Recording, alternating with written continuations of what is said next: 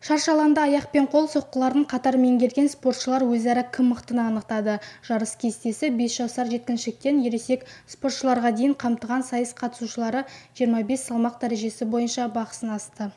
В этих соревнованиях участвует более 80 человек. соңғы жылдары елімізде қарқынды дамып келе жатқан спорттың бұл түріне ден қойған жастардың қатары көбеюде осындай жарыстар ұйымдастыру арқылы жастардың бойын қылмыстық іс-әрекеттерден нашақорлық секілді зиянды қылықтардан аулақ ұстауға үгіттеу сонымен бірге салауатты өмір салтын қалыптастыру да басты мақсат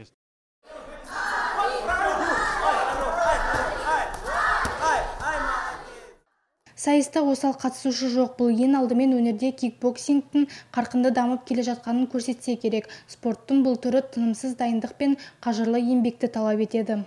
Участвуя в этом спорте, кикбоксингпен айналысқаныма бір жылдан асты. Маған өте қатты ұнайды. Алаңға шыққанда намысқа тырысып қарымта жауып қайтару керек.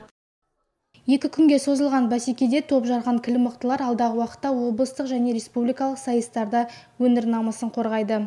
Салтанат сәрсенбайқызы марат ахметжанов жамбыл балтаев көкше ақпарат.